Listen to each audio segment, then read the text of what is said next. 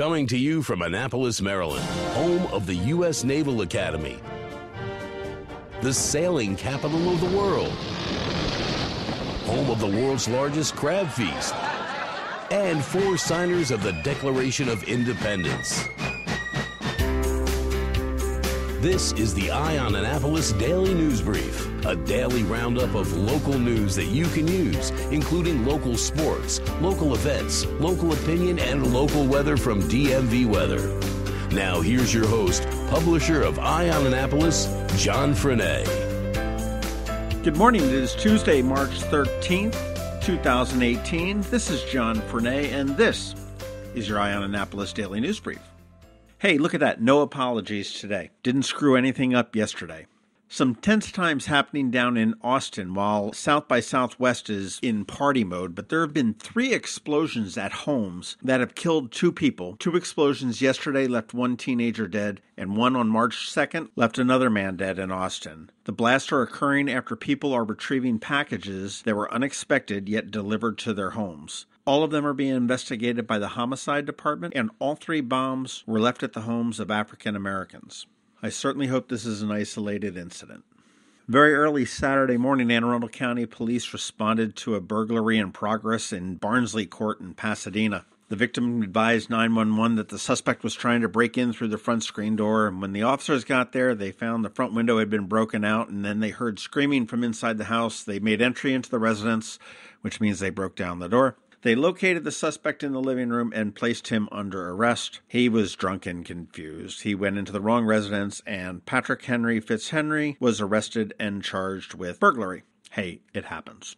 After the New York Daily News broke a story on a drug ring at the U.S. Naval Academy, the Naval Academy finally came out with a statement, and spokesman Commander David McKinney, the public affairs officer for the Academy, said, quote, the Naval Academy has thus far begun the administrative disciplinary process against five midshipmen for illicit drug use, to include cocaine, ketamine, ecstasy, and mushrooms, and four additional midshipmen for failing to report known drug use of others, which is a violation of the Midshipman Administrative Performance and Conduct Instruction. Administrative discipline can include demerits, loss of privileges, restriction, and separation from the Naval Academy. McKinney did also say that military justice options, to include court martial, still remain available and will be decided upon after the full investigation has been concluded. Phil Davis at the Capital had an interesting article in the paper about drug dealers that have been charged with manslaughter. And it seems that the gamble that the county has been making is not sitting well with grand juries, as three out of the last five have had charges dropped. Police have always said if you want to find out who the dealer is, look at the cell phone of an overdose victim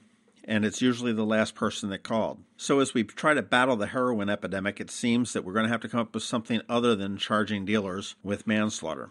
The Anne Arundel County NAACP is holding a press conference today to address the mistreatment of African American students at Chesapeake High School in Pasadena. In a statement sent to us last night, the Reverend Stephen A. Tillett, the president of the Anne Arundel County branch of the NAACP, said parents, students, local clergy are holding a press conference to address and publicize the daily humiliations and abuse heaped upon the African American students who attend Chesapeake High School. Students are subjected to being called, quote, by some of their fellow students on an almost daily basis. In fact, a teacher also called a student, quote, and after several weeks of delay and inadequate responses, he was allowed to retire on March 1st, 2018, with no sanction. This press conference will be held today at 10 a.m. at the Mount Zion United Methodist Church, located at 8178 Arctic Drive in Pasadena, which is located behind the YMCA.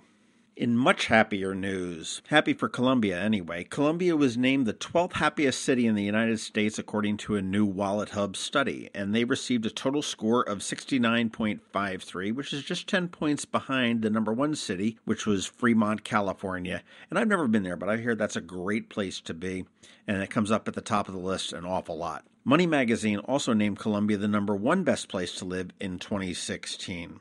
Other area cities, Baltimore was on the list of the happiest places to be. It was not nearly as high as Columbia. They came in at number 159. Washington, D.C. ranked as number 73.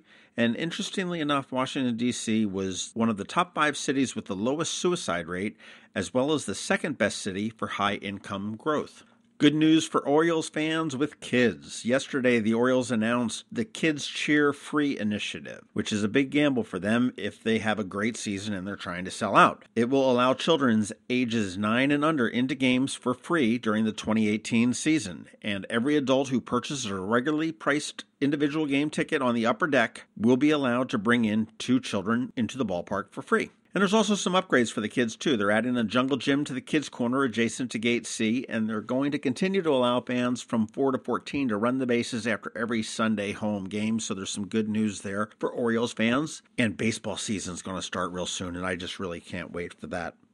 Hey, coming up this week on the Maryland Crabs podcast, and check that out at themarylandcrabs.com. We're going to be talking with Mayor Gavin Buckley. He is just about to celebrate his 100th day in office, and we want to get a rundown and find out how he's doing. That will release on Thursday, March 15th at noon. So make sure you're checking out the Maryland Crabs at that time. Also, check out the Maryland Crabs for our Annapolis Film Festival coverage. We've talked to several different directors on several movies. We've got a very cool audio trailer that's out there for Butterfly Kisses. We're going to be speaking to some of the winners of the Shorts Challenge. So tune into that because the Annapolis Film Festival will be here before you know it, and that's a great thing. If you want to get tickets or passes to that, AnnapolisFilmFestival.com. And just speaking of podcasts in general, do me a favor and recommend this one to a friend or two today. It'd just be a nice thing to do. And if you're on iTunes or any of those places, give us a rating. We appreciate it.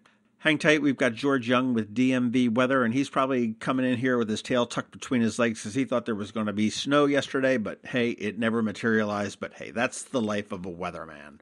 Hang tight. He'll be here right after this message.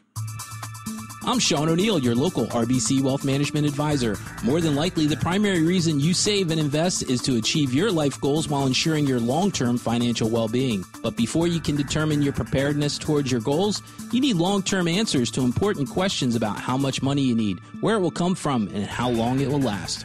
RBC Wealth Plan, a new industry leading tool, is now available to help answer these questions and develop your personal plan using a conversational approach. With RBC Wealth Plan, we can create a personal analysis based on these unique goals while offering you the ability to weigh certain decisions and determine what's best for you and your family. Call me, Sean O'Neill, today at 410 573 6723 for a complimentary consultation. RBC Wealth Management, a division of RBC Capital Markets, LLC. Member NYSE, FINRA, and SIPC.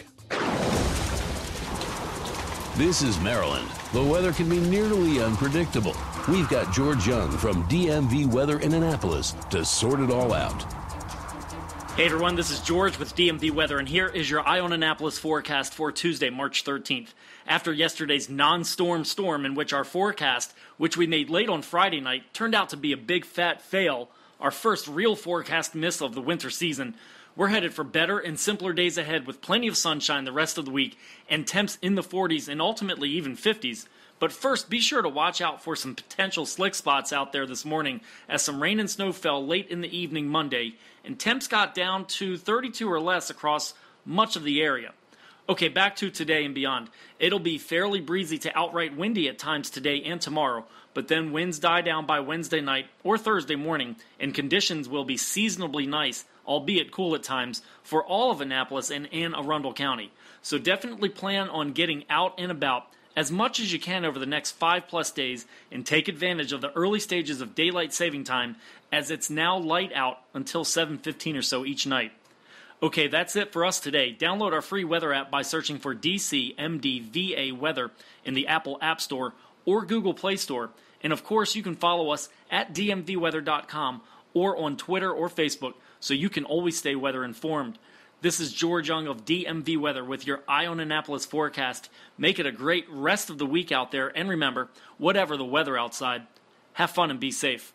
Hi, this is Randy. And Claudia Boldiga. Please join us and our presenting sponsor, RXNT, on Saturday, April 28th on AAMC's South Campus for Denim and Diamonds Bash. Proceeds will benefit mental health and addiction services in our community. Now more than ever, we need to focus on this critical need. The bash sold out last year, so don't delay and join us for this fabulous night under the stars. Can't make the party? You can still help by purchasing a raffle ticket. This year's raffle is a stunning four piece amethyst jewelry collection donated by Cezanne Jewelers, valued at $5,000. Only 100 tickets will be sold for the raffle, so don't miss out. For event or raffle tickets, go to to aamcdenimanddiamonds.org. Thanks for your support of Anne Arundel Medical Center's efforts to improve the availability of mental health and addiction services throughout our community. Remember, it's not just a party, it's a party with a purpose.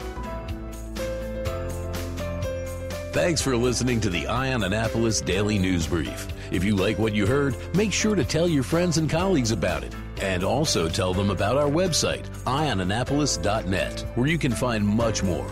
Be sure to check out our other weekly podcast, The Maryland Crabs. This podcast comes to you every Monday through Friday at 7 a.m. Thanks for listening, and we'll see you next time.